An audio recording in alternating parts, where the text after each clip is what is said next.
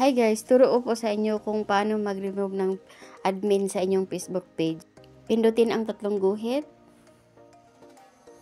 Tapos i-click mo yan ang ano, yan ang lalabas. I-click mo yung page sit up. Yan, page sit up, i-click mo yan. Pagkatapos niyan, dadalhin ka niya doon sa ano, doon sa mga nag-assist ng page assist yan.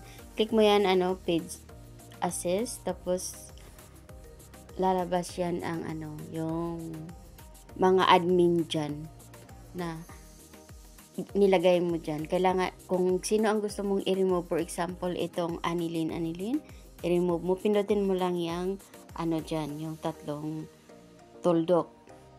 Tapos, ano yan, pag pindot mo yan, tapos lalabas yung remove from the page. Tapos, i-click mo yan, tapos dadalhin ka yan doon sa confirmation.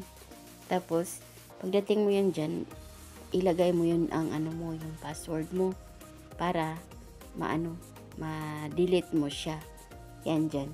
Lagay mo yung password mo. Tapos, paglagay mo sa password mo dyan, i-click mo yung confirm. Pero dahil hindi naman tayo mag-remove ngayon, so, hayaan lang natin ang ganyan. So, ganun lang kasimple guys. Sana mayroon kayong natutunan sa video ito. Thank you guys.